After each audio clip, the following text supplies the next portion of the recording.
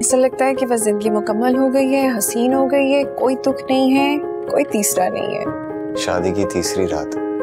मैं तुम्हारे साथ हूँ तुम मेरे साथ हो। ज़िंदगी गुजारने के लिए इतनी मोहब्बत काफ़ी है। मैं हमारे नसीब पर हमारे प्यार की गिरा लगा रही हूँ। और अगर ये गिरा लगाना भूल गई कभी तो?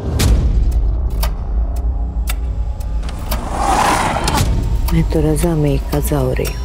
मुझे वारस चाहिए। जो मेरे बाद सरदार बनेगा।